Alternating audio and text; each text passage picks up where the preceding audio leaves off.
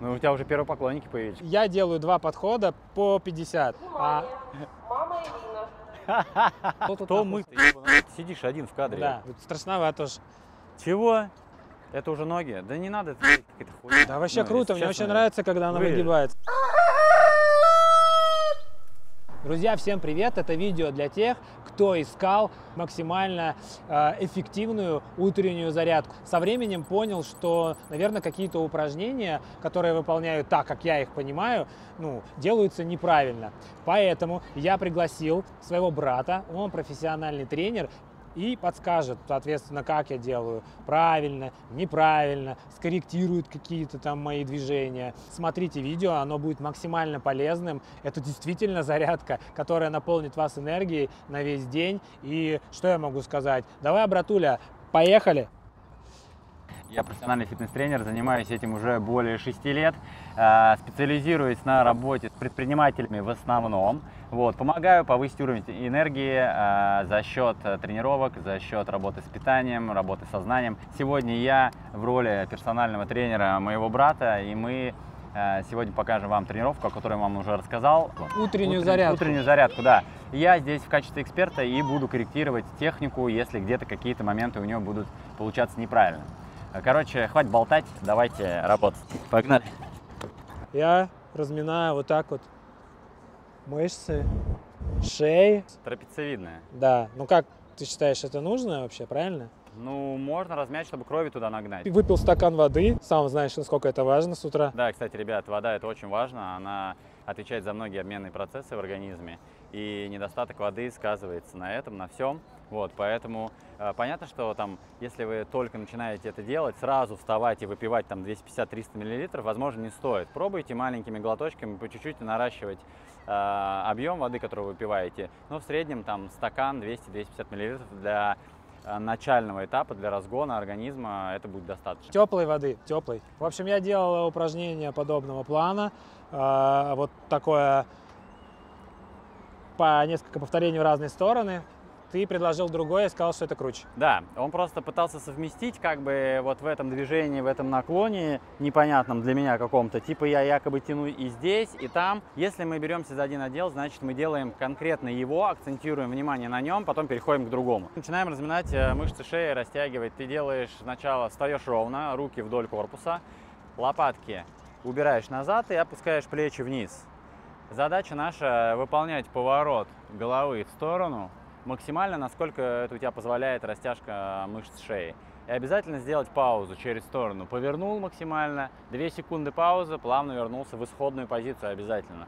Потом повернул в другую сторону. Выполняем 8-10 повторений и переходим к следующему движению. В каждую сторону 10 или нет? Всего можно 10, этого будет достаточно. Э, Следим, чтобы плечи не двигались за головой. Ни во время поворотов, ни во время наклонов. Сильно не напрягайся, встань расслабленно. Стал расслаблен. Дальше у нас выполняется наклон головы к плечу.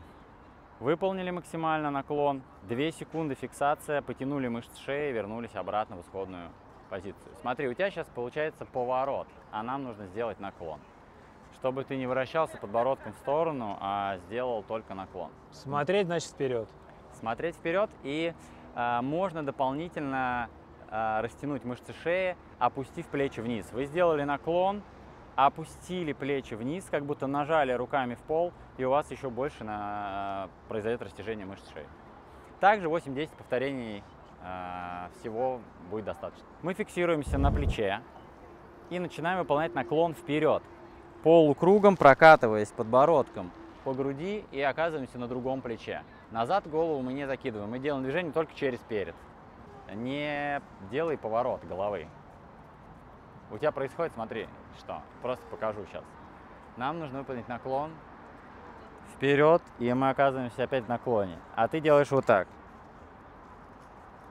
У тебя взгляд оказывается вот туда. А у тебя взгляд должен оказаться вот туда. Каждый раз вперед. Наклон, полукруг прошел, и ты смотришь опять вперед. Да, и вот ты обрати внимание, у тебя начинают плечи подниматься наверх, за головой. Вот за этим, за всем нужно последить, чтобы этого не происходило.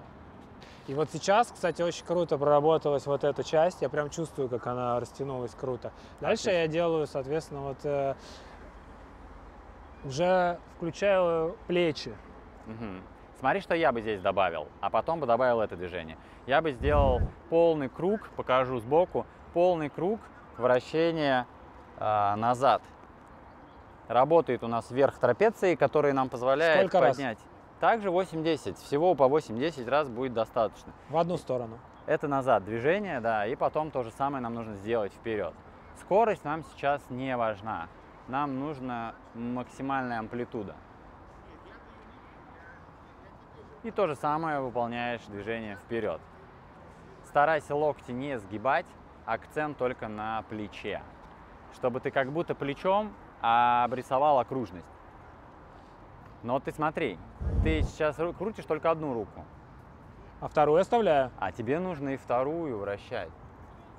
Это немножко другое упражнение. Нет, это то же самое. Просто ты крутишь плечо, получается, только в одну сторону, а во вторую не крутишь. А тебе нужно ее вращать во всей плоскости. Вот не так? спеши, да, не спеши. Смотри, Ну так сложнее. сложнее. Сделай обе ладони вниз. Ну. Обе ладони вниз. И теперь тебе нужно в разные стороны их максимально повернуть. И у тебя оказывается и эта ладонь наверх, посмотри, и эта наверх. Вот. И А, при этом тебе нужно еще повернуть голову в сторону. Вот это интересно. Интересно. Растягивает хорошо, прям я чувствую, как плечи пошли. Да, только ты не скручивайся при этом самим корпусом. Ну, то есть повороты не делай по оси. Понял. Ну, это получается 5 раз в одну сторону, 5 в другую. Да, будет достаточно. По времени можно, если говорить про время, а не про количество повторений, то достаточно будет в районе 10-15 секунд на одно движение. Теперь локти. Смотрите, мы э, шею сделали, плечи сделали, теперь локтевой сустав. Встаешь ровно, руки в стороны и начинаешь делать вращающие движения э, наружу, вовнутрь, неважно. Сначала в одну сторону, потом в другую. Здесь главное, чтобы локти зафиксированы были на одной высоте. Чтобы не поднимались вниз, э, не поднимались вниз, не А поднимались то, что наверх. здесь напрягается в это время, это же Она нормально? напрягается, потому что она удерживает в статике руку вот в этом положении. А задача наша сейчас проработать локтевой сустав. Можно добавить кисти.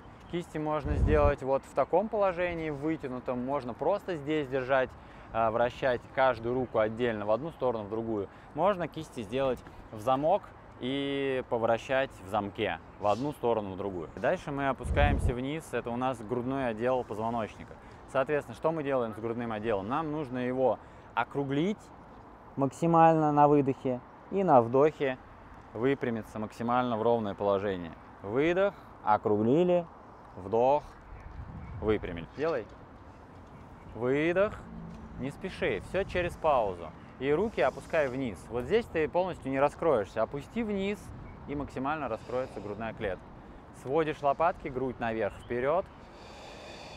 Да, получается, мы в грудном отделе сейчас делаем а, скругление, как будто сутуливание специальное, и полное выпрямление за счет опускания лопаток вниз и отведения их назад. Мы работали в одной плоскости, э, в плоскости фронтальной, вперед-назад. Теперь мы будем работать в другой плоскости, право-лево, да, из стороны в сторону.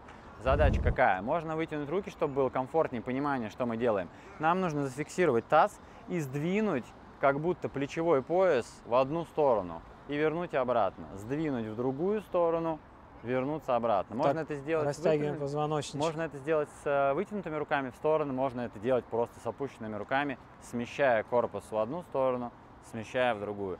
Не очень э, простое для понимания упражнение. Ну вот, кстати, я скажу, что вот именно вот так удобнее всего. Ты упираешься в таз, и таким образом он стоит на месте. Но у тебя получается наклон сейчас, а тебе наклон не нужен, тебе нужен сдвиг в сторону. Вот я вот чувствую прям, как я там снизу сдвигаю все вот так. Сейчас, смотри. Ну лучше, чем, да, лучше, чем в первый раз. По пять раз вправо и пять влево. Есть? А вот некоторые делают, когда с грудным отделом, они делают прям вот так. Это нормально, это правильное движение, потому что то, что мы закидываем голову назад и еще Я бы вот по-честному не советовал бы закидывать голову назад вообще ни в каких упражнениях в положении стоя. Это можно в каких-то моментах делать, когда ты в положении лежа находишься, Почему в горизонтальной позиции. Ну потому что это перегружает мышцы шеи вот в этом положении, и у тебя не остается мышц, которые могут эту голову стабильно удержать. Ноги на ширине таза, руки на поясе, и мы пытаемся тазом обрисовать окружность. Сдвигаясь только тазом, у нас получается плечи зафиксированы на одном месте. Ну посмотри, я правильно делаю? Не смещайся корпусом вперед-назад. Вот эту часть тебе нужно полностью зафиксировать. Ага. А тазом описываешь окружность. 5 в одну, 5 в другую. Можно 5, можно 8. Первое, на что стоит обращать внимание, это сколько у вас времени есть в вашем распоряжении. А второе, работайте на ощущения. Всегда чувствуете, что подсказывает вам ваш организм. Так, дальше у нас будет наклон, и мы ноги ставим э, чуть шире плеч, носки развернуты в стороны. Нам важно выполнить ровной спиной наклон вперед, при этом у нас таз отодвигается назад, и наша задача поймать здесь внизу точку максимального натяжения, когда у вас задняя поверхность бедра максимально натянута. И мы короткими такими пульсирующими движениями начинаем опускаться к полу. Пробуй. Сколько раз? Спина у тебя сейчас скруглена. Нам нужно сделать максимально ровную спину. Вот. Выпрямился То есть полностью. можно положить руки на коленки, выпрямить спину. И об- убираешь руки, Вот да. так. И фиксируешь по- положение позвоночника максимально ровно. Наклоняешься вниз. Сейчас поймаешь такое ощущение вот здесь, вот э, натяжение задней поверхности. Колени не сгибай. Попробуй максимально ровно их То есть я должен... Вот. И Что- твоя Какие задача... мышцы мы сейчас растягиваем? Где Задняя покажи? На поверхность мне бедра. показывай. Я на себе показал. Задняя поверхность бедра у нас. Вся задняя поверхность бедра, это бицепс бедра. э, Он, соответственно, в этом э, упражнении растягивается. За счет ровной спины. Да. Смотри, какая, Очень круто. смотри, какая штука. Если я с ровной спиной это буду делать, вот это крайняя точка, куда я могу опуститься. Все, я больше не могу вниз опуститься, у меня все натянуто. Но если я скруглю поясницу, смотри, что произойдет. Это уже движение в поясничном отделе. Но это не растягивает заднюю поверхность бедра. То есть мы заднюю поверхность бедра можем растянуть только с ровной спиной. Вот, я двигаюсь. Но у меня тоже чувствую в спине движение. Ты должен ее зафиксировать, там не должно быть движения. Ну нет, не движение, а на- напряжение, натяжение. Потому что у тебя Это- сопротивляется мышцы с двух сторон. С То есть это стороны, нормально? Это нормально. И стопы теперь у нас уже не развернуты в стороны, а параллельны друг другу. Выполняем тот же наклон, что мы делали с ровной спиной, и начинаем диагонально касаться стопы, скручиваясь в поясничном и в грудном А ты помнишь вот это упражнение у нас еще? Стопы параллельно сделай друг другу. Вот так? Есть, да. Наклон с ровной спиной. Сначала выполни наклон, а потом из этого наклона ты начинаешь вращаться. Шея должна быть ровная, или я могу сделать так или Ты так? смотришь в пол. В пол. Да. Можешь добавить поворот вместе с позвоночником в сторону. Правильно? Да, без резких движений. Все должно быть под контролем у тебя. Да. Есть. И теперь как раз вот это упражнение, про которое ты говорил, вытягивание позвоночного столба, да, Да. Задача встать широко, поставить руки сюда на бедра, ближе к тазу, упереться и выпрямить руки полностью, чтобы у вас они были максимально прямые. И потом мы из этого положения начинаем садиться тазом вниз, удерживая руки прямые. И у нас вытягивается позвоночный столб. Мы можем в этом положении либо посидеть, либо пульсировать. Встали, сели. Либо, как вот предлагал Руслан, показывал, мы добавляем небольшое скручивание в сторону, что дает нам еще больше вытяжения. Я раньше это упражнение выполнял вот так. Тоже посмотрел тренера одного, значит, ну, куда-сюда, и делал вот такие, такую вот историю. Да. Так, подожди, вот Можно- мы ставим, подожди, у нас на ширине плеч, еще раз покажи. Ноги шире плеч. Значит, ставим сюда. Упираемся, делаем наклон. Упираемся в бедро, ближе к, к тазу. Блин. Максимально прямые А, руки. Ну, ноги чуть сги- сгибаем, да? Ну да, мы как будто немножко подсели. Ноги, руки ровные, да, вообще? Прям уперся туда, выпрямился, как будто ты в планке стоишь. И начинаешь садиться в пол. И Где я тебя- должен почувствовать? Вот на мне покажи, где я должен чувствовать сейчас. Вот я присаживаюсь, где я должен чувствовать? А, вот не будет видно, ты же стоишь передом. Смешно. У тебя будет вытягиваться весь позвоночник, начинать будет он вытягиваться с поясницы. Чем ниже ты будешь опускаться, тем больше он будет нагрузка подниматься э, к голове, к грудному отделу. Можно сделать так, можно добавить скручивание, также упираясь руками. И можно потом, чтобы скручивание было еще больше по углу, можно выполнить вот такое же движение, как ты показал. Просто из этого положения у тебя получится более амплитудное движение, чем вот с этим упором жестким. Так получается, ты мне предлагаешь то же самое сделать. То же самое, просто более амплитудное движение получится. Амплитудное это означает, что увеличивается длина растяжения мышцы. О, Вот- вот, это очень Вот, круто допустим, тянет. объясню на примере сгибания руки. Вот это максимальное разгибание в локте, вот это максимальное сгибание в локте, это максимальная амплитуда движения. Я могу делать не в полную амплитуду, то есть я могу закончить движение вот здесь, и это будет половина амплитуды движения. То есть это расстояние от максимального растяжения до максимального сокращения. Нам теперь нужно повращать тазобедренный сустав в своей плоскости в одну сторону наружу и потом вовнутрь. Let's go. Не спеши, смотри, у нас таз имеет свойство подворачиваться, подкручиваться и скручиваться в сторону по оси. Вот попробуй сделай сейчас, чтобы у тебя таз не скручивался. Вот смотри, сейчас, сейчас объясню. Вот у тебя есть отведение в тазобедренном суставе, у меня таз остался на месте, а тазобедренный сустав, ну, как будто разогнулся, да? Ты делаешь вот так. Ты отводишь и поворачиваешься всем корпусом в сторону. У тебя происходит, таз смещается. Попробуй его зафиксировать, чтобы он не скручивался. Вот. Последи, чтобы у тебя вот эта часть таза не, не подворачивалась в сторону. То есть это означает, что ты просто не сильно отводишь ногу. Но у меня хрустит. Ничего страшного. Смотрите, если какие-то хрусты, какие-то ощущения неприятные вы чувствуете при вот в этом, в этом движении, просто уменьшаете амплитуду движения. Делаете небольшой оборот и отведение, а просто покороче. Как будто маленькую окружность описываете коленкой, По пять раз. Вообще замечательно. и вовнутрь то же самое нам нужно сделать. Обратно? Обратно. Блин. Да, то же самое. Представь, что тебе нужно нарисовать круг. Вот здесь у тебя карандаш, маркер, неважно что, и ты пытаешься ровную окружность описать коленным суставом. А где я должен написать? Вот здесь или вот здесь? Вот здесь перед собой, вот в этой плоскости, вот у тебя здесь там плакат, я не знаю, и тебе нужно вот эту окружность нарисовать вот здесь перед собой. Во, но только опускать ногу ниже. Получается, у тебя будет эллипс, как бы не окружность, а эллипс, вытянутый э, в вертикальной плоскости. Другие мышцы работают. Смотрите, когда мы делаем движение вовнутрь, у нас работают мышцы, которые расположены как бы внутри, здесь внутренняя поверхность бедра. Когда мы делаем что-то наружу, у нас мышцы работают, которые у нас как бы латеральные, со стороны находятся. В данном случае за вот движение наружу отвечает ягодичные, за движение вовнутрь отвечает внутренняя поверхность бедра. А, Следующее движение у нас делаем широкий выпад максимально. У нас э, стопа находится четко под коленным суставом, задняя нога э, не сгибается в коленном суставе. Мы можем облокотиться руками на бедро, можем облокотиться предплечьем на бедро. Наша задача пульсировать тазом в пол. Направление движения перпендикулярно полу. И аккуратно по ощущениям Куда пульсируем голова? Просто смотришь перед собой, можешь наклониться немножко вниз, как бы продолжение позвоночника, чтобы у Ну тебя вот сейчас было. правильно все? Да, все четко. Колено не старайся вообще не сгибать на задней ноге. Да. Что мы сейчас растягиваем? Получается, вот эту часть? Передняя поверхность бедра той ноги, которая сзади, и, соответственно, мы растягиваем на передней ноге ягодицы. Так, вот я сделал несколько, там, допустим, пять Сделал, раз. Да. Ставишь руку другую, одноименную руку ставишь со стопой на ладонь на полную и поворачиваешься. Смотри, поворот нужно сделать вот отсюда, вот в этой плоскости. Покажи, как. не через перед, не вот так, как ты сделал, а вот так. Через сторону.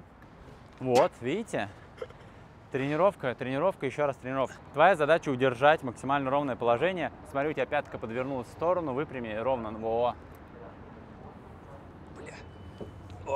Чтобы встать правильно вот с этого положения, ты вот это движение сделал, отсюда через низ вернул руку сюда и через выпад поднялся наверх. Так, давай. Получается, другая рука. Задняя нога прямая, на носке у тебя стоит нога. Колено не сгибай в задней ноге. Да. И пульсируй прям по ощущениям, чтобы у тебя каждая пульсация, движение вниз была под твоим контролем. Не так. Одноименная рука. Не разноименная, а одноименная. То есть, если у тебя впереди правая, значит на, на пол мы кладем правую руку. Вот это. Чтобы вы понимали, я это по-другому делаю, всегда ставил сюда. Блин, я сейчас даже уже так не могу. Я всегда ставил вот так. Это Вот гораздо ну, легче выполняется. Здесь у тебя скручивание. Мы делаем это для того, чтобы скрутить грудной отдел, и поэтому, если у тебя мобильность грудного отдела плохая, то у тебя плохо, плохая будет ну, равновесие в этой позиции. Потом я всегда выходил вот так. И делаю вот так. И здесь очень классно растягивается. Здесь растягивается, с поясницы растягивается, пойдет. Но мы уже это сделали со скручиваниями, с наклонами. Есть. Дальше коленный сустав. Что мы можем сделать? Мы можем сделать наклон э, ноги на ширине таза, наклон корпуса вперед, упираемся полностью всем весом корпуса в бедро над коленным суставом. И первое, первый вариант. Мы можем специально уводить колени за носок, подсаживать вниз и разгибаться обратно. То есть у нас в тазобедренном суставе ничего не происходит, а происходит движение только в коленном суставе. И нам нужно его согнуть колено и разогнуть. Пятки не Пятки поднимаем. не отрываются, да. Для чего мы это делаем? Для того, чтобы специально весь вес тела, который у нас есть, э, направить в коленный сустав, чтобы дать ему поработать под нагрузкой. Это первый вариант. А второй вариант, который вы можете где-то, вам кто-то может сказать, что так типа делать нельзя, это большая нагрузка на крестообразную связку коленного сустава.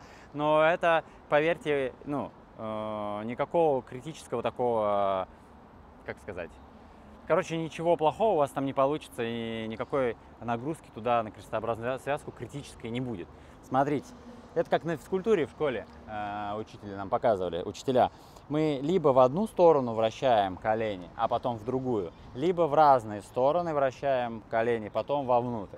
Можете выбирать сами. Просто многие говорят, что вот это смещение из стороны в сторону большое давление оказывает, ну, типа вред на крестообразную связку. В данном случае, когда вы с собственным весом работаете, если он не превышает у вас там 150 килограмм, то ничего не будет критичного. Вот так? Главное амплитуда, чтобы была небольшая, Пятки очень, не очень короткая. Смотри, сейчас ты делаешь это очень широко. Не нужно широко, очень маленькая амплитуда. Вот так? Да, как будто у тебя получается то же самое сгибание и разгибание, но немножко меняя плоскость движения. И без резких движений, без резких. Все под контролем ты должен держать. Ну и вы, соответственно, тоже, если вы будете это повторять. Не отрывай пятки, не отрывай, стопа полностью прижата на протяжении всего движения. Так, и последнее у нас осталось стопа, голеностоп, как хотите это называйте. Тоже несколько вариантов есть. Первый, самый простой вариант, держим ногу на весу, вращаем просто стопу в одну сторону, в другую. Это первый вариант. Второй, мы можем опереться немножко под нагрузкой, сделать э, голеностоп и вращать здесь, как будто вкручиваем в пол, вовнутрь, наружу, тоже сделать движение. Но я предпочитаю другой вариант. Мы что мы делаем? Мы поднимаем ногу, максимально подтягивая колено к груди. И вот в этом положении начинаем вращать стопу наружу. Ну а кто, у кого вовнутрь. высокий вес, у кого живот, он не сможет так сделать. У кого вес, пожалуйста, держите здесь, держите здесь. Ну, но я предпочитаю вот такой вариант. Поэтому, если вы, э, вам ну, позволяет э, живот это сделать движение, выполняйте это движение. Растянули здесь, вращаем. Давай делать. Это позволяет максимально к груди, прям прижимай колено к груди. Ну. удерживаешь в этой позиции ногу. Держись Почему лучше делает здесь, ближе к коленному суставу. Почему так лучше? Потому что у тебя, во-первых, здесь растягивается ягодица, во-вторых, у тебя здесь баланс, который ты удерживаешь, в-третьих, ты еще и голеностоп э, разрабатываешь, растягиваешь. Ну, Пять то есть, в одну, то пять есть, в если другую. речь идет про экономию времени, опять же, то ты здесь убиваешь трех зайцев. Постарайся ногу сильно не сгибать в коленном суставе внизу. Понятно, что это баланс, но тебе нужно постараться максимально прямую ногу сохранить. Готово. Поклонение богам. Вот так выдыхаю. Все. По идее, первая часть э, зарядки, она выполнена. И теперь мы приступаем ко второй части. Это силовые упражнения. Э, Я сразу скажу, я вообще не знаю, что он будет делать. Ну, как бы по ходу сейчас разберемся. Он показывает то, что он делает обычно, и, соответственно, я буду вносить какие-то корректировки. Как бы сделал я, или там, ну, или что-то по технике буду корректировать. Начинаю. Вот с подобного прогиба. Это упражнение из йоги. Давай сейчас немножко скорректирую тебя. Давай. Здесь твоя задача таз максимально направить в пол, чтобы растянуть переднюю поверхность. э, Вот сейчас Как что? что Правильно же, ровненько. Здесь я бы таз поднял выше бы, Ну, встал о- на носочки Вот так? и грудь опустил максимально вниз. И руки прямые, ты прям вытягиваешься в пол руками, тазом толкаешься наверх. Потом я становлюсь. Это все упражнения больше из йоги. Прогибаюсь. Ну, это примерно вот сейчас то же самое, что мы с тобой стоя делали с грудным отделом. Да, потом вот так протягиваюсь одна, значит, ладошка сюда, потом ладошка сюда. Все. После этого у нас идет а, любимое у всех упражнение планка. Не у всех. Поверьте, сколько я тренирую, это самое нелюбимое упражнение у всех. Я об этом и говорю. Что мне всегда, знаешь, что кажется? Что когда я стою, у меня либо здесь напряжение, вот, либо здесь, либо вот здесь напряжение. Я не могу понять, где оно в итоге-то должно быть. Оно должно быть на прессе. То есть на спине вообще не должно быть напряжения. Будет дискомфорт, если у тебя есть грыжа, протрузия какая-то, то как бы нежелательно это делать. Нежелательно планку вообще да, делать? если у тебя есть какой-то У меня какая-то есть грыжа. проблема. Просто если особенно слабые мышцы, если ты понимаешь, как правильно делать, и акцент смещаешь на мышцы брюшного пресса, тогда ничего страшного. Let's go. Ты покажи, как ты это обычно делаешь. Я делаю это вот так. Смотри, что нужно сделать. Тебе нужно таз подкрутить, сжать ягодицы. Да, прям подкрутить, сжать и как будто немножко скрутить поясницу, скруглить и напрячь мышцы живота. мышцы А, я пресса. понял, о чем ты говоришь. Понял? Да. И все, и у тебя вся нагрузка уйдет на пресс. Ты сейчас даже будешь чувствовать, что у тебя грузится прямо именно там. всё. Да, да, есть такое, да. Вот в этом положении тебе нужно. Ты уже стоять. засек, разговариваешь. Ты стой, стой. Но вообще для зарядки э, Тебя зафоткали. начинающим Девочка остановилась, тебя зафоткала. отлично. Ну, и нач- своему парню говорит, вот смотри, как надо, а не то, что ты. Хорошо, минута. уже, ну, как будто подпустился, подопустился. Подними чуть-чуть его повыше и подкрути. Вот. Ох, как пресс-то горит. А вот в этом и прикол весь. А если ты не будешь его напрягать, у тебя и уходит нагрузка на поясницу. Понятно. 46 секунд пока. Елки-палки. Что-то я маханул с двумя минутами. Ну, давай хотя бы минуту. 5 Давай, секунд осталось, да, минут. давай. В следующий раз делаю Три. две. Два, один, красавчик. Еще я вот так потом делаю. Так, значит, следующее упражнение, которое я выполняю на спину, у силовое, это вот такое. Ага, я бы сместился, первое, что я сделал, я бы сместился назад, чтобы у тебя колени лежали на, край, на краю ковра. Почему, объясню. Потому что у тебя руки сейчас лежат на полу, а ноги на ковре. Ну, нелогично, да? Ноги можно оставить на полу, потому что в кроссовках, а руки положить на коврик. Вот, это первое, что я сделал. Второе, ты это делаешь очень быстро, это движение. И следующее, что я заметил, ты поднимаешь каждый раз голову наверх. Смотри, первый акцент. Мы постоянно смотрим в пол, подбородок у нас прижат к груди. Не до конца прям ты не давишь туда, просто в нейтральном положении находится. И делаешь подъем диагонально. Вот выбери одну сторону диагональную, любую. И вытягивайся не только наверх. Ты не выбрал диагонально, у тебя одностороннее движение сейчас получилось. А, А. тебе нужно ее сделать диагональное, да. И ты тянешься еще и в длину. Руку тянешь вперед и наверх. Вперед и наверх. И ногу вперед и наверх. Ой, назад и наверх. Да, только без резких движений. Поднял, голову не поднимай. Только рука вместе с плечом. Видишь, у тебя мобильность грудного отдела очень плохая, и у тебя даже грудь до конца не прижимается к полу. Замечаешь? У тебя плечи очень высоко над полом. Что я неправильно делаю? Нет, у тебя просто в грудном отделе мобильность плохая, как будто, ну, как бы су- сутулость. И у тебя мышцы уже э, гипертрофированы там, зажаты, и они не растягиваются и толком не сокращаются. То есть получается такая какая-то очень короткая амплитуда. Тебе что я посоветовал, да, в таких моментах? Э, массажист, который будет растягивать мышцы, массировать, делать их мягкими, эластичными, возможность большего растяжения, а, и делать упражнения, которые позволяют их укреплять. Это вот эти. Да. Я их и делаю. Хоп, опустился. Хоп, опустился. И вытягивайся в длину. Да. Ты можешь выпрямить руку еще больше вперед?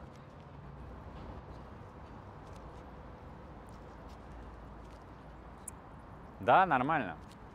Опять начинаешь рывок, опять голову подключаешь. Ты сейчас объясню одну штуку, ребят, если надо. Где у меня должно, где должен мышцы чувствовать? Покажи рукой. Поясница, у тебя поясница работает, здесь есть два таких столба. Если ты будешь подниматься одновременно руками двумя и двумя ногами, у тебя они работают оба. Так как ты делаешь это диагонально, то у тебя работает одна сторона. Но это поясничный отдел. Соответственно, за подъем ноги наверх отвечает ягодичная. То есть работает диагонально ягодичная и э, поясница с одной стороны. Для зарядки хватит а, пять раз на одну сторону, пять раз на другую. Так, дальше следующее упражнение, которое я делаю, это вот это.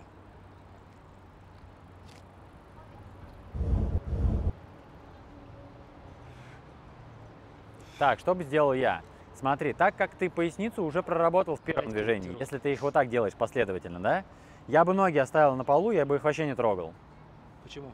Потому что ты удерживаешь ноги за счет поясницы в статике. Это лишняя нагрузка на поясницу. Ты уже ее сейчас проработал. Оставляем ноги на полу, вытягивай руки и работаем только верхом корпуса. Смотри, плавно поднимаешься наверх и одновременно плавно локтями толкаешься к ногам. Это было не одновременно, это было последовательно. Ты сначала поднялся, а потом начал движение. А тебе нужно одновременно начать движение на себя и наверх. И без рывков, без рывков. Не задирай голову наверх, оставь внизу ее. И медленнее, медленнее, контроль. И твоя задача наверху больше паузу добавить в верхней точке, больше. И плавно вытягиваешься. Пауза, плавно вытягиваешься. И теперь задача максимально свести лопатки, середину трапеции сократить, надавив локтями к ногам в горизонтальной плоскости, в плоскости пола. А вот здесь у тебя уже начинает работать середина, э, ну, грудной отдел позвоночника, середина трапеции. Десять. Почувствовал? Раз, да, 10 раз и хватит. Также, а, также расслабляем, да? Растягиваем. Можно даже не делать это вот скручивание, ну, как-то вот на одну сторону, на другую. Можно просто вытянуться вперед и максимально опуститься вниз. Я бы добавил отжимания и добавил бы приседания. Ну, вообще изначально в самое начало ставятся крупные мышцы, соответственно, ноги это самая большая мышечная группа, а потом на мелкие. Но э, смотрите, что может быть. Если у человека пониженное давление, когда он начинает делать ноги, в первую очередь, у него вся кровь опускается к ногам из головы, и человеку может стать плохо, закружится голова, вот такие моменты. Поэтому за этим нужно следить и максимально разнообразить, чтобы кровь не застаивалась только внизу, чтобы она гуляла сверху вниз, сверху вниз. То есть можно сочетать упражнения, что-то сделать наверх, потом на низ, потом опять наверх, потом на низ, чтобы кровь от головы максимально в ноги не уходила. Ну вот я прямо сейчас чувствую, мне немножко даже уши что-то заложил. Хотя вроде ничего такого сложного не сделал. Очень большая разница. Вот я прямо сейчас чувствую, что весь протянулся, растянул прямо зарядочка. И, а, значит, тогда получается неважно, да? Человек может, и вот сейчас я мог полежать, теперь присяду, и все нормально. Да, А потом отожмусь. да. Отлично. Ну, да, хорошо, давай о приседаниях. А, я буду приседать чуть-чуть вот так вот, чтобы было ты видно. делай, как ты делаешь, я, Я делаю вот так. До конца я особо не приседаю, хотя нет. Получается, ну, есть корректировки. Я бы стал шире. Еще. Еще. И ноги развернул стопы в стороны. 45 градусов. Отлично. Первое движение, которое ты начинаешь с таза назад. 45 градусов назад и вниз, чтобы таз у тебя выезжал. Ну-ка. Хоп. И потом точно тоже так же 45 градусов обратно в исходную позицию, у тебя таз должен вернуться. Попробуй сделать. Руки мы держим. Можешь вытягивать, кому-то комфортно, чтобы равновесие удержать, кто только начинает. Кто уже ну, более-менее понимает, не можно да- руки держать просто перед собой. Почему обычно люди вытягивают руки? Потому что они боятся упасть назад, а руки как противовес, типа, который помогает им удержать равновесие. А это не дает дополнительную растяжку? А ты же делаешь ноги, причем есть растяжка. У тебя руки Ну, растягивают. ты- вот некоторые, знаешь, как это, и ноги, и руки сразу. Нет, ну типа мы выбираем что-то одно. Вот Хорошо, да, вот ладно. здесь То я я добавил могу так- баланс вот в этой штуке. Я Всё, сказал, я что понял. можно совместить. Но здесь в этом смысла нет. Ладно. Акцент на ногах. Это и так большая, крупная группа мышц, но очень сложно на ней сконцентрироваться. Смотри, что ты сейчас делаешь. Ты прям падаешь вниз. Вот смотри, Я чувствую здесь вот дискомфорт. если мы, если мы возьмем какой-то предмет и бросим его, он летит с определенной скоростью. Сила притяжения Земли. Твоя задача не расслабить здесь, чтобы ты с такой же скоростью упал, а твоя задача контроль сделать над опусканием, чтобы ты свой вес опускал с определенной скоростью. Скорость этого движения где-то в районе 2 секунды ты должен опускаться вниз. Раз, и, два, и. И наверх одна секунда. Раз, и, два, и. Наверх одна секунда. Раз, и два, и. Нет, ты так. видишь, это ты поднялся, а ты должен только опуститься за это время. Раз, И, два, и наверх. Градусы правильные? Делай, делай, сейчас корректируем. Раз. И два. и. Вот. Наверху долго не стоишь. Раз, и два, и. Да, То есть теперь- вверх быстро, вниз вниз, да? Раз, Вниз медленно. И два, и. Да. Не спеши, контролируй. Контроль всегда должен быть во всех движениях. А Тебе у не тебя- обязательно щелкать. А у Смо- тебя встреча через э, 10 минут онлайн, и тебе нужно быстро присесть. Это имеет смысл? Когда у тебя техника будет правильная, тогда ты можешь приседать быстро. Я могу с правильной техникой сесть и быстро, и медленно, понимаешь? А эффект, эффект будет один и тот же? И смотря что, если это для зарядки, пойдет и так. Если ты уже потом в дальнейшем работаешь над увеличением мышечных объемов, то тебе нужно соблюдать э, определенный темп. Когда человек только обучается, можно вообще его замедлить для, до 3 секунд, чтобы человек 3 секунды только опускался, а потом 3 секунды поднимался наверх.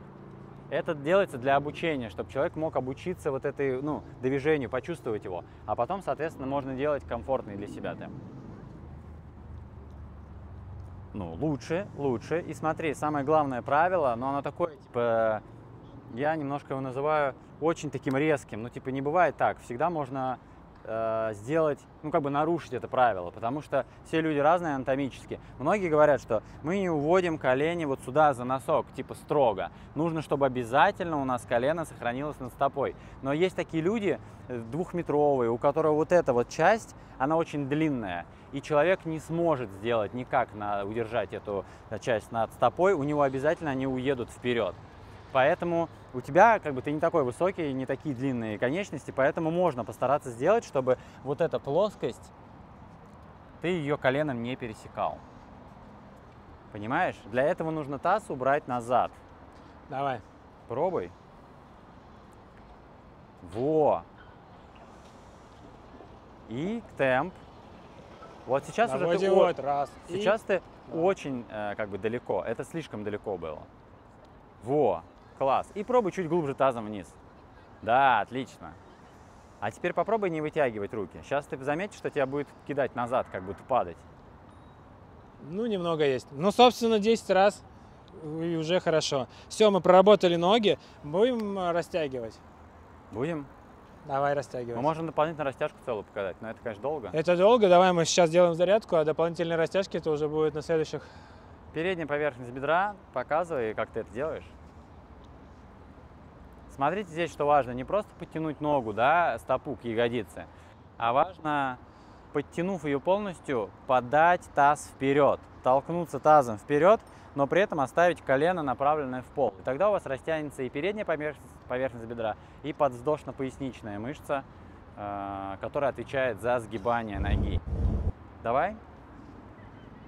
Сколько таких повторений? В принципе, мне кажется, по разу, да? Удержание 10 секунд, 15 достаточно. Одну сторону ты удержал. Тазом толкаешься вперед. Есть. И теперь мы из этого положения ставим ногу просто перед собой на пятку и выполняем наклон с прямой спиной к этой ноге. А, я с этой ногой что? Все, она просто чуть согнута в коленном составе. Ты просто на нее опираешься. Так? У тебя сейчас круглая спина, а нам нужно прямую спину. Вот. И у тебя тянется задний. Ты просто плавный наклон и фиксируй. Фиксируйся здесь. Можешь руками взять за ногу и подтягивать себя. Но с прямой спиной. У тебя будет тянуться задняя поверхность бедра. Так, та же, которая у нас тянулась вот при вот этих вот наклонах, которые мы Ну, делаем. допустим, 5 раз так, 5 раз так, да? Тебе не нужно пульсировать, тебе нужно только наклониться и зафиксироваться. А, и постоять в статике. И не приседай так сильно. Не, в коленном суставе. В коленном суставе. Да, наклончик. О. Видишь, у тебя мобильность еще и задней поверхности плохая, но растяжимость задней поверхности. А это влияет на поясничный отдел во всех наклонах. Таким образом, ну, нужно больше растягивать, да? Больше растягивать, чтобы увеличивать мобильность, чтобы ты был более мобильным во всех движениях. Я начинал там с 20, два, два раза по 20, потом два раза по 30, сейчас делаю по 50. Смотрите мое замечание, как бы я бы сделал, чтобы не заморачиваться. Я поработал бы секунд по 30. Просто ставить секундомер и не обращая внимания, чтобы не отвлекаться. Многие, не, у немногих не получается одновременно и считать, и следить за техникой. Поэтому, чтобы не отвлекаться, вы ставите таймер, контролируете свою технику, таймер сработал, все, закончили, отдыхаем. 20 секунд отдохнули, 30 начали опять заново. Ну, ты И тогда вот не знаешь, сколько ра- раз ты... тебе не нужно это а знать. нет прогресса тогда. Ты не понимаешь, ты будешь есть знать, что у прогресс. тебя время под нагрузкой 30 секунд. Соответственно, если тебе 30 секунд выполнять уже легко, значит, ты спрогрессировал. Давай, поставь, сколько я за 30 секунд раз отожмусь. Давай. Сколько вообще обычно, ну так, в среднем нормальный человек, который, ну, более-менее спортивный, отжимается, ну так все. Если это девочка, это где-то в районе пяти повторений полноценных полностью. Если это парень, то э, выше 15 это ну, типа хорошо. Отлично это где-то 40. За 30 секунд. Нет, просто, просто, Ну. просто отжаться. А за 30 секунд ты по, по факту не успеешь сделать много повторений. Ну тогда давай я в Правильных, чистых. повторениях. Правильных чистых, то просто это где-то в районе будет 10-12 повторений за 30 секунд. Ну вот для, для зарядки нам как лучше мерить? Секундами или считать? Для зарядки вообще не важно. Зарядка не для того, чтобы ты спрогрессировал в каких-то силовых там движениях. Зарядка для того, чтобы ты зарядился на целый день и все. А прогресс или какой-то рост, он происходит там а, в тренажерном зале, в каких-то силовых видах спорта и тому подобное. Давай ты считаешь, а я время засекаю. Ты, ты Давай. посчитаешь, сколько мы за время сделаем. Ну, ладно, давай. Я и то, и то смогу поехать. Да, погнали. А почему на кулаках? Я всегда на кулаках сжимаю. Почему? Ну потому что так у меня суставы, мне неудобно. Ага.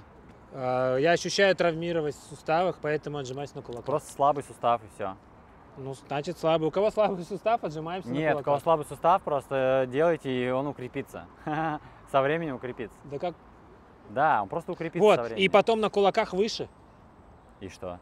Ну, тем самым, когда ты отжимаешься на кулаках и у тебя выше, э, э, Ничего не Значит, меняется. увеличивается нагрузка. На что? Ну, амплитуда увеличивается, увеличивается нагрузка. Нет, смотри. На кулаках, во-первых, у тебя нагрузка уходит на трицепс с грудных. Потому что ты кулак ставишь в параллельную постановку, и у тебя локти прижимаются к корпусу. Чтобы нам сделать больше акцент на грудные, нам нужно поставить ладони и развернуть локти в сторону. То есть вот так, на грудь. Поворачивать ладони не нужно. А, Ты ставишь их просто ровно, и я сделал бы шире постановку, шире ковра. вот так. Да. Вот так на грудь. И локти 45 градусов относительно корпуса. Прижатые, вот так. прижатые, 45 градусов, да. Давай Ладно. стартанем с пола. Сделай, как ты обычно это делаешь, подход. А второй подход, как я бы посоветовал. Ну давай. Ну, давай. Мой подход. Let's go. Ты время засекаешь? Да.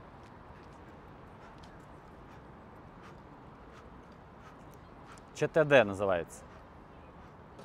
Я успел 50 раз. Да, только это не отжимание. А что это? Вот то, что сделал ты, это... А можно, ну, можно все говорить на камеру? Можно все говорить на камеру. Э, Это, ну, дрочево называется. В смысле? Смотри, ну это, короче, э, обычно вот такие отжимания делают... Чего? Не уходи далеко. Обычно вот такие отжимания делают э, бойцы. Я боец. Вот. И, короче, здесь, вот помнишь, я сказал, скорее всего, у тебя на 30 сходит нагрузка. Потому что, во-первых, у тебя амплитуда очень короткая. Ты вот в каком-то, вот у тебя даже локоть ну, толком не разгибается, не сгибается. У тебя вот такое движение происходит, очень короткое. Чтобы полноценно сделать движение отжимания, нужно полностью опуститься и полностью подняться наверх. Полностью опуститься и полностью подняться.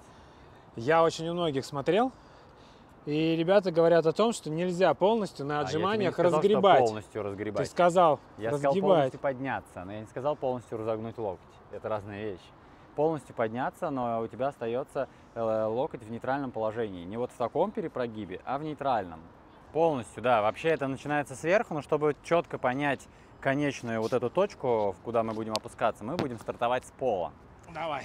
Смотри, ставишь ладони чуть больше вниз к ногам, опусти руки сами, вот. И локти, видишь, у тебя 45 градусов, они не сильно прижаты, они 45 градусов. Вот такое положение ты сохраняешь. Ну, Да, да. Нейтральное положение поясницы. Таз чуть-чуть приподними уже от пола и поехали наверх. Толкаешься в пол руками, хоп, и плавно опускаешься вниз. И наверх. Не резко, плавное движение, медленное, контролируй опускание. Так, мо- может быть, я поднимаюсь быстро, а опускаюсь медленно. Так и есть. Вверх нормально, на усилие ты толкаешься ладонями в пол, а вниз контроль. Это был не контроль. Прям медленно. Вот. И твоя задача точки в локтях свести навстречу друг другу. Оп. И тогда у тебя подключаются грудные мышцы. Сейчас ты почувствуешь разницу. Чуть-чуть голову, очень сильно ты наклонился вниз. Да.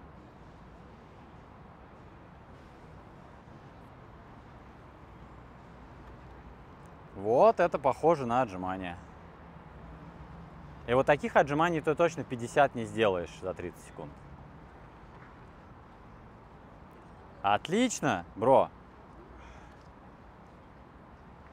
Вот это грудная. Трицепс, конечно же, здесь работает как синергист, как помощник. Но основная мышечная группа – это грудь. В том исполнении, в котором ты делал, грудь статики работает. И больше трицепсовые отжимания это называется. И причем в супер укороченной амплитуде. Так обычно бойцы делают. Для того, чтобы у них выносливость в руках была больше. Потому что они постоянно в этом движении находятся. Вот сейчас я почувствовал, да, еще больше такую нагрузку. Конечно, когда руки шире. Наверное, надо растянуться. Да, сколько мы делаем перерыв между подходами? 30 секунд достаточно будет. Да, 30 если секунд. человек более-менее хоть подготовленный, если человек не восстановился, вообще сделал 30 секунд или сколько там, 12 повторений, но у него сердце там э, удар где-то 120, 130 туда, да, ближе к 150, то нет смысла начинать следующий подход. Человек просто не успел восстановиться. А есть люди, которые присядут 10 раз, и потом у них 2 часа сердце восстановиться не может. Это говорит о том, что нужно сердечно-сосудистую систему тренировать. Поэтому работайте по ощущениям. Если вы понимаете, что вы готовы к следующему подходу, значит выполняете. Что ты скажешь насчет того, как пить во время тренировки? А, если это интенсивная тренировка, то каждые 15 минут два больших глотка будет достаточно. Два больших глотка полноценных воды будет достаточно. Потому что если это интенсивное, ты постоянно где-то, ну, это какие-то будут либо прыжки, либо какие-то перемещения. Если ты будешь очень часто и много пить, у тебя вода будет накапливаться в желудке, и тебе будет некомфортно. Она постоянно будет там болтаться и тому подобное. Ну, а когда она рот будет, слушает, вот хочется отвлекать. пить, пить, пить. Тебе будет достаточно просто двух, двух глотков за 15 минут. А, Вот. Если это силовая какая-то тренировка, то там не так сильно хочется пить. э, Во-первых, а во-вторых, даже если ты будешь много пить, это не, не будет тебе дискомфорта доставлять. Поэтому, ну, по ощущениям Ну что, друзья, мы закончили нашу утреннюю зарядку, а точнее обеденную зарядку. Обеденную Солнце уже будет скоро на- закат. А, Я надеюсь, что она была вам полезна.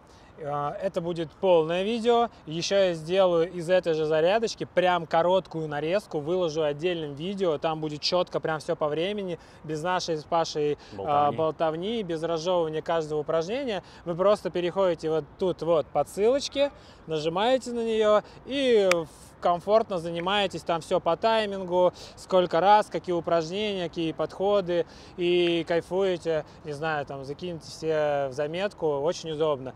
По сути, мой YouTube канал, я вот даже Паше рассказывал, это мой дневник, где я как режиссер рассказываю о различных э, лайфхаках сам для себя. По факту эту зарядку и Пашу я пригласил для того, чтобы на моем YouTube канале, в моем, скажем так, дневнике э, было полное руководство, как правильно выполнять э, зарядку и не делать каких-то неправильных упражнений, да, вот как мы уже обратили внимание, что тут очень много всего делал неправильно. И это не круто. Ты занимаешься вроде тем же, но все Не настолько эффективно просто. Короче, это неэффективно, да. Да.